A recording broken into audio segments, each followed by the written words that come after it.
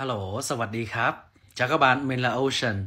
À, trong cái thời gian vừa qua thì kênh TikTok của mình đã chia sẻ về những cái trải nghiệm về du lịch cũng như là đời sống ở Thái Lan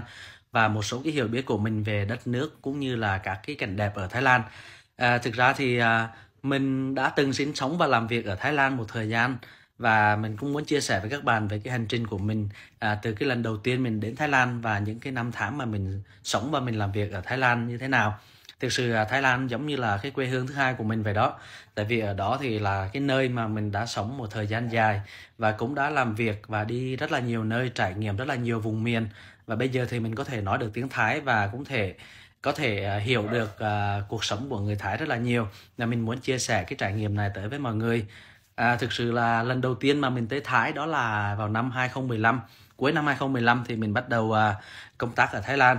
À, đợt đó thì mình làm cho một cái công ty ở Việt Nam xuất khẩu sang Thái Lan và mình làm ở bên đó giống như kiểu là văn phòng đại diện của công ty ở Thái vậy đó. À, thì ban đầu mình qua bên đó thì mình không hề biết tiếng Thái và mình cũng chưa học tiếng Thái đâu. Nhưng mà qua đó rồi á, thì mình mới nhận thấy là uh, mình sử dụng tiếng Anh thôi thì không có đủ tại vì nó chỉ có thể giúp mình để làm việc ở trong văn phòng thôi. Còn khi mà mình đi ra ngoài thị trường, đi tới các cái vùng xa hơn á, tiếp xúc với khách hàng và tiếp xúc với người tiêu dùng thì mình phải biết tiếng Thái. Cho nên là cái động lực đó đã giúp mình để mình có thể là bắt đầu học tiếng Thái. Và chủ yếu là mình học thông qua YouTube cũng như là thông qua những người bạn và những cái người đồng nghiệp à, đối tác của mình ở bên Thái đó. Thì sau một thời gian cũng khoảng vài tháng thì bắt đầu là cái việc mà sử dụng tiếng Thái nó cũng tương đối là à, đáp ứng được cái nhu cầu cơ bản về cái việc ăn uống đi lại rồi. À, ở cái thời gian nhiều hơn thì sau đó là mình à, tìm hiểu và mình học chuyên sâu hơn mình à, nói nhiều hơn và nghe nhiều hơn. Sau đó thì à, có thể à, nói được một cách à, trôi chảy và thoải mái giống như bây giờ.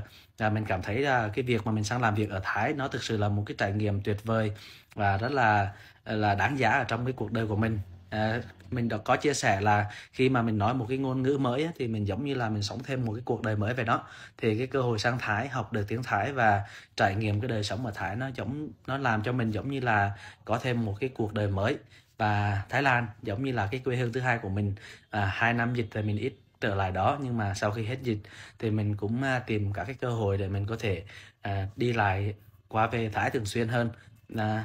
để trải nghiệm cái ẩm thực cũng như là mang cái à, cái trải nghiệm và cái hiểu biết của mình đến với nhiều người hơn